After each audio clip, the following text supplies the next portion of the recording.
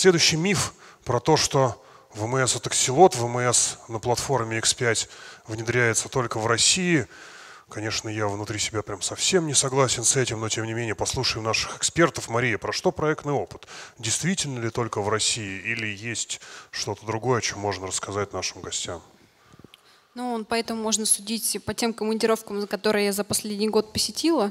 Это Узбекистан, Казахстан, Белоруссия, и так далее, и так далее. Э, но, конечно, наш проектный опыт не ограничивается там, э, странами бывшего постсоветского пространства. У нас есть проекты в Китае, у нас есть проекты в Италии.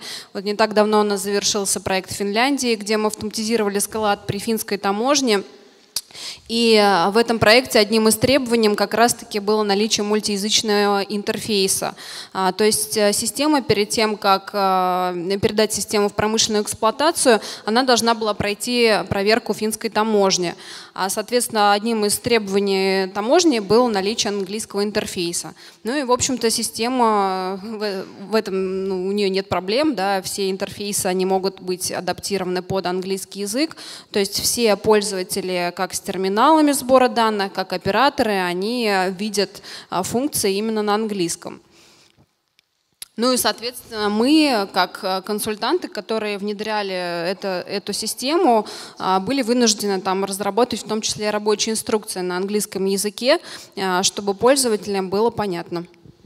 То есть, по вашему мнению, какой-то проблемы нет, и миф там достаточно надуманный. А как, Николай, как ваш опыт? Я знаю, что у вас э, вы запускали систему тоже в различных географических локациях. Что является основной проблемой? Там местоположение вендора или что-то другое? Основной проблемой, наверное, является таракан в голове. Если я запускаю здесь, я, то есть я в своем как раз представлении говорил, что я несколько раз Global CIO, если я запускаю э, в другой стране, и тем не менее руководство у меня здесь, то я могу запустить все что угодно. И мне не надо искать системы там, если мне удобно и моему центральному офису удобно запускать э, системы мои. Э, я немножко добавлю. Э, вот то, что сказала Мария, это э, multi-language, а есть еще multi-country проблема. То есть на самом деле проблема не только в переводе на другой язык, проблема в адаптации к локальным условиям. Например, в ВМС это а, будут печатные формы, они несколько иные. Возможно, несколько иные выгрузки в бухгалтерию тамошнюю. А, возможно, несколько иные сопряжения с какими-то... Ну, у меня были вплоть до... В Италии Windows по-другому вставал, там какие-то драйвера были другие, да, то есть э, сопряжения с ККМ были другие. Там вот такие нюансы, допустим. Э, это все есть, но, но не проблема. Это не проблема. То есть э, это все решабельно, это все решается. И в том числе вот э, как раз третья версия от вас у меня была в другой стране когда-то. Наверное, вот один, один из флагов это ваш. Там, да, сапожок такой милый. Отлично. А, Дмитрий, а что думаете вы? То есть вот э, коллеги говорят о том, что там, а, проблемы не существует, на что показывает э, количество проектов по внедрению. Э, б, говорят, что ключевое даже не языки, а соответствие там софта требованиям какой-то конкретной страны. И чем более там, ну, там приземленные бизнес-процессы в ней автоматизируются, тем проще. Действительно ли так или что-то еще есть? Ну, надо понимать, что вообще проблем две больших. Одна из проблем, когда мы просто берем нашу ВМС-систему и ставим где-нибудь за границей, ну, например, там, возьмем ту же самую там, Италию. Э, э, надо понимать, что в Италии мы хотим видеть э, всю нашу систему, ну, предположим, на английском языке, лучше, конечно, на итальянском. Соответственно, если просто перевести все интерфейсы, это легко. Более того, у нас там номенклатурный справочник на английском языке, все здорово. Куда сложнее и разносторонней становится проблема, когда нам систему требуется поставить, например, в России, но для западной компании. И мы понимаем, что в системе будут работать как русские э, сотрудники, так и иностранцы. Иностранцы, может быть, не будут выполнять операции на складе, но им нужно смотреть отчетность, им нужно смотреть остатки, им нужно какие-то э, как-то управлять системой и так далее. И фактически у нас появляется проблема, то, что нам нужно не просто показать два разных интерфейса, а позволить иностранцам видеть свои номенклатурные позиции на их родном английском языке, а желательно нашим пользователям на русском языке, потому что не, далеко не каждый русский сотрудник склада сумеет перевести с английского языка наименование на русский. Соответственно, проблема возникает в том, что мы теперь должны во всей нормативно-справочной информации, вводимой в системе, иметь два наименования – русское и английское. Именно это мы сделали в системе. То есть мы позволяем не просто перенести систему в удаленную локацию, а позволяем различным пользователям э, одновременно работать с одной и той же системой. По поводу проблемы, когда мы переносим в удаленную э, локацию куда-то там систему а, с печатными формами, печатные формы – это самая, скажем так, маленькая из проблем с точки зрения разработки.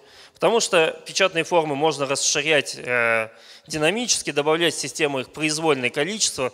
Более того, с точки зрения именно разработчика, э, разработка печатной формы – это самые низкоквалифицированные разработчики могут исполнять данную задачу. Поэтому здесь я проблем в принципе не вижу. Окей, okay, спасибо. Секундочку. Я немножко уточню. Когда мы говорим о разных локациях, имеется в виду, что моя одна программа, одна конфигурация работает в Италии, в Финляндии, в Америке и в России, допустим. Соответственно, она одна настраивается. То есть все эти многоязычные переводы э, на китайский, на английский, на французский у меня уже есть в моей конфигурации. Угу. Вот только так. Ну, то есть, по сути, вообще речь идет о том, что это проблема не системы. Да. Это проблема того, как вы донесли проблема. тому менеджменту, который там внутри локации этим пользуется, там правила по работе с системой, да. убедили. Классическая проблема с внедрениями и здесь. Да. Здесь мы тоже убеждаем менеджмент, что система подходит, что форма удобная, что кнопки там, где надо. Отлично. А, про лингвистику такую поговорили, обсудили языки. Я, кстати, помню, мы как-то много обсуждали таджикский и узбекский с какой-то целью в нашей системе, да, Дмитрий?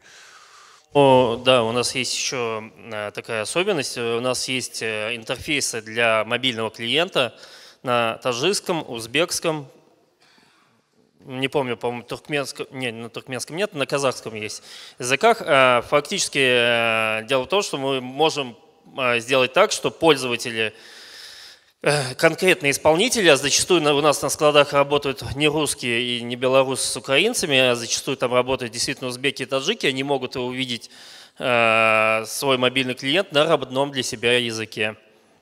А что про математику? Сейчас я хотела добавить, здесь э, интерфейс-то они увидят, но самое интересное начинается, когда их начинаешь обучать. То есть если в России у нас э, как-то они понимают, что ты им рассказываешь при обучении, вот когда мы запускались в Узбекистане, там вообще было весело. Как говорят сами а, узбеки, они говорят, что все самые умные это у вас в России уже, а у нас осталось то, что есть. Вот. И начинается, в общем, веселые старты, когда консультант приезжает, начинает им что-то объяснять по-русски, и он понимает, что они его не понимают. Но интерфейсы переведены, да. А здесь вообще, на самом деле, очень важный момент провести обучение перед запуском. Я помню, мы запускали 3.0, и, собственно, в момент обучения выяснили, что человек читает сообщение на, моби... на терминале, доходит до слова «номенклатура», спотыкается на нем, он его не знает, он знает слово «товар», и после этого вся фраза теряет полностью смысл. Поэтому, собственно, до запуска срочно из всех сообщений убирали слово «номенклатура», заменяли на «товар». То есть это даже вот в России как бы абсолютно нормальная ситуация. Он посмеялся, лингвистика говорит. Вот тебе и лингвистика. Да.